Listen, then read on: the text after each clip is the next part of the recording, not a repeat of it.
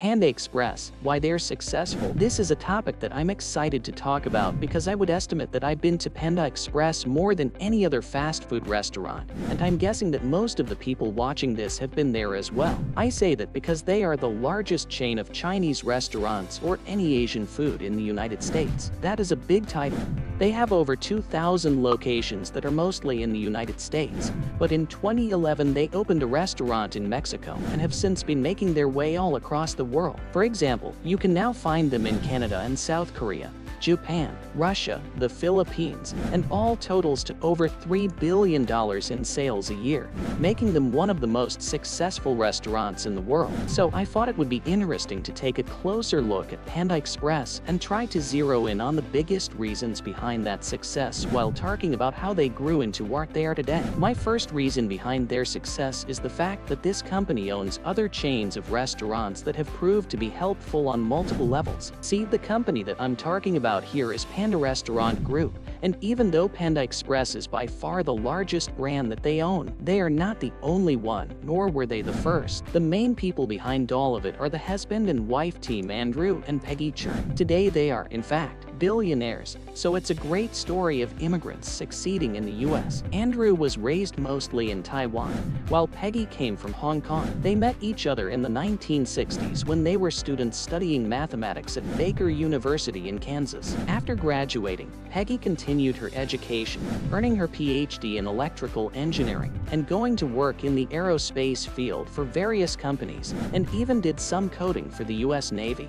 But Andrew surprisingly went on to manage a restaurant that was owned by his cousin. Honestly, it doesn't sound like the best job. He says that he would typically work seven days a week and get paid $800 a month for it. Plus, it sounds like he had a lot of disagreements as far as how it should be operated. So in 1973, he left his position there and set out to open his own restaurant. He raised $60,000, partially from a loan from the Small Business Administration, but most of it came from his friends and family. His father was, in fact, a chef, so he was a valuable partner, and teaming up with Andrew to open the Panda Inn in Pasadena, California, Unlike the Panda Express that we know today, it was more of a traditional Chinese dining type environment. The costs were fairly low because most of their labor force consisted of family members working for free, but the sales were there because there was a diverse community in the area that was receptive to the foreign cuisine. So, for the next nine years, they existed as that single successful restaurant. Then all of that changed in the early 1980s. In that short time, Andrew's father died. Peggy left her career to help run the business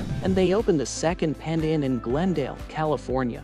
And when it came to naming it, they called it Panda Express to convey that it was a faster version of their existing Panda Inn. By the way, the Panda Inn chain still exists today as five locations in California, and clearly, without the foundation that it provided, Panda Express would have never existed. A couple of other restaurant chains that they own that have potentially helped them in different ways would be Hibachi-san. That's a Japanese restaurant that they started in a mall in Minnesota in 1992, and Raising Cane's, they didn't start that one, but as of 2018, they do earn money from the ones that they franchise in Hawaii and Alaska. Alright, that was the longest one. My next reason behind their success would be flexibility, and for this, I'm mostly referring to their ability to adapt their concept into different sizes and different environments. After five years, they had about a dozen locations that I believe were all in shopping malls, but then they started opening bigger stand standalone restaurants, as well as some others that were inside of other types of buildings. It started when they opened one inside of a Vons supermarket in 1988,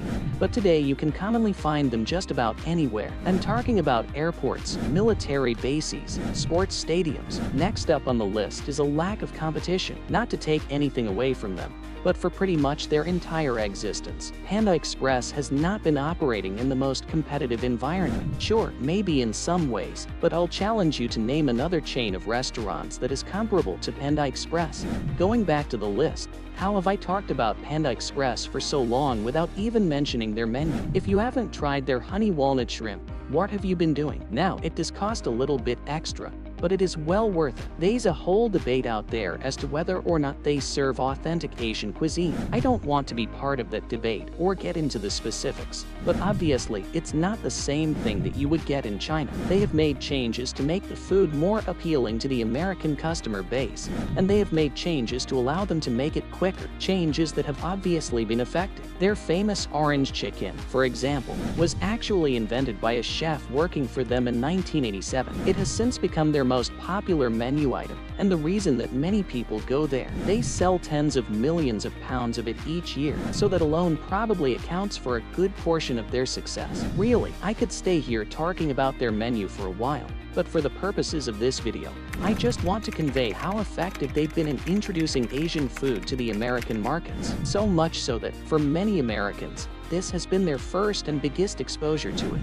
Next on my list, I want to briefly talk about how technology has been helpful for Panda Express. For this, I'm looking at Peggy Cherng, Given her various degrees in science and experience in the field, she knows about technology, and maybe the biggest way that this has helped them is the fact that, from the beginning in 1983, they were using computers and a point-of-sale system, giving them an advantage over the rest of the industry because most of the others weren't doing it yet. It made them more efficient and that it allowed people to place their orders faster. It gave them better control of their inventory. They learned which items were selling better than others, helping them reduce their cost and making the customers happier in the process. My next reason behind their success is a debatable one, but Panda Express is amazingly a private company that doesn't franchise. I should say that there are a few minor exceptions on the franchising part, but nothing significant. This right here has to be one of the biggest ways that they stand out from the rest of the industry because these are such effective ways to grow that they've been used by almost every other fast food chain. Panda Express, like I said, amazingly has been able to do it by reinvesting their own profits. They say that they prefer this approach because it's their only way to maintain complete control. You know, if you have a franchisee running a location, he may let the quality of the food slip or the service or whatever, or or if they became a public company,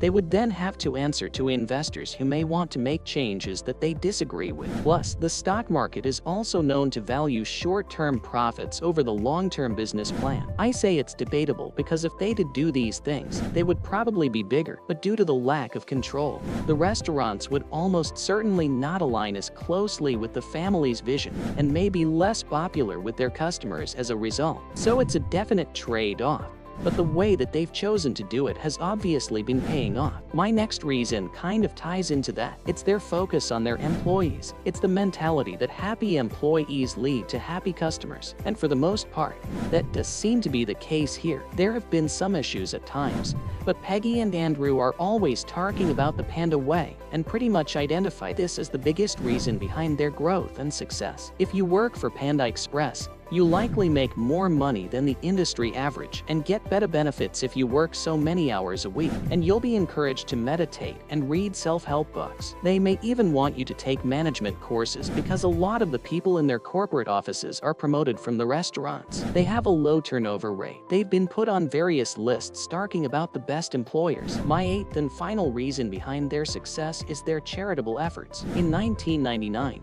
they established Panda Cares. They are primarily focused on raising money for children's hospitals, education, and disaster relief. Since the start of it, they have raised over $247 million that mostly come from customers within the restaurants. But they also have this annual golf tournament, and employees help out and these other means as well. You may want to look further into it if you're interested, but the fact is that they're very upfront about it to a point where most Panda Express customers are probably well aware of it. Maybe you've seen that donation box, or you've been asked to round up your purchase to the nearest dollar or whatever else, and that contributes to their overall image and general success of the company. Let me know in the comments, what do you get when you go to Panda Express? As I said, I am all about that honey walnut shrimp and the orange chicken, of course. It's a winning combination, but also, what do you think of my 8 reasons behind their success? Is there something that doesn't belong there? Or should something else be added to it? Maybe you think that adorable little pendle on the logo has played a part in it, or maybe the fortune cookies. Those are always fun. So any farts you have about Panda Express, leave them in the comments. I'd like to hear what you have to say. Thank you for watching.